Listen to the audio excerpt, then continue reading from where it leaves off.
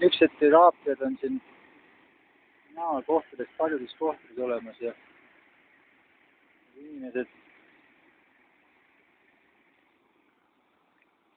kuidagi jah.